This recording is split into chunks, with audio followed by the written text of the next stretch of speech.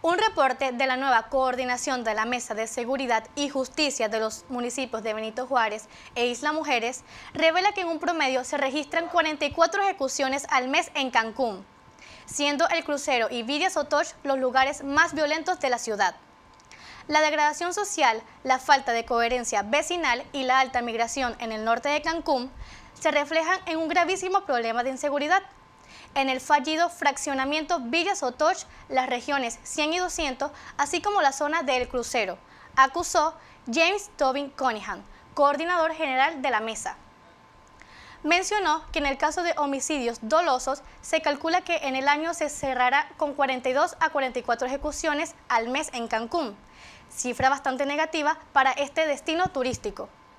mencionó que en los últimos dos años se ha tenido una tendencia al alza en homicidios dolosos en Benito Juárez, con un pico en abril pasado con 60 homicidios.